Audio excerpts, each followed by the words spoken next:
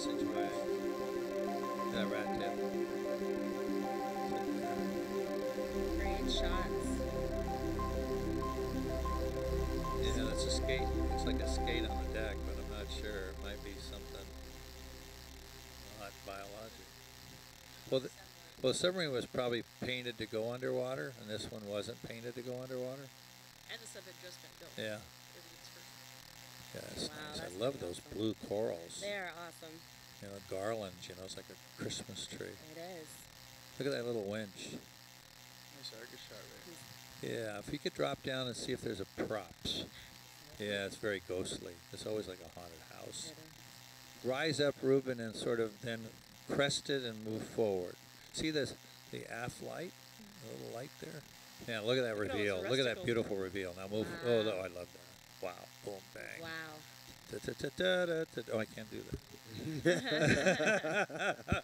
I'm so used to doing. Yeah. yeah. Look.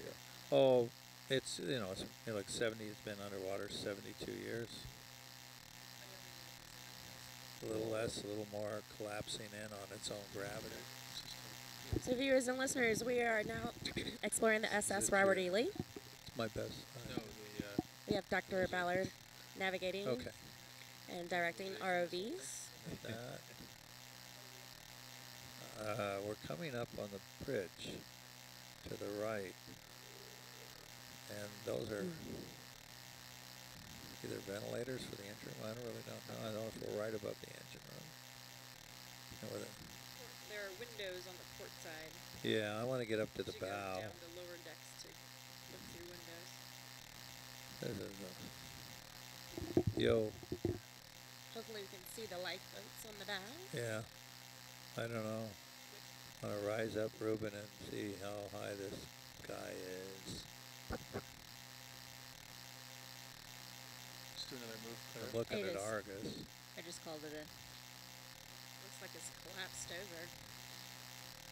Yeah, I think it's Yeah, a bust. not that We're about there. There it is. Okay, we got to pole vault over that thing. It's amazing how we're throwing a little bit of water into the interior of the ship, and it's Yeah. kicking look- that Coming super out. fine sediment. I have to bump in the her camera just a wee bit to get rid of the bottle. Yeah, could you bring the uh, Thank you. Argus camera up a little? Just a smidgen?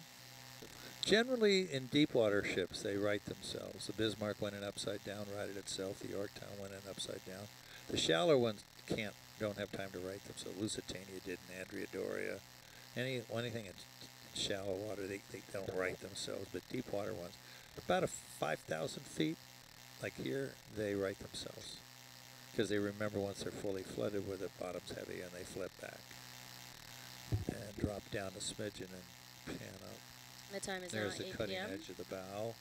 Sunday, July 6th, 2014. Nice. All right, coming I out see wider. that tether snatcher on the starboard railing, but I think we're good. Because as you pivot, you push your mm-hmm. tether further out away. Now this is a lovely shot. It's beautiful.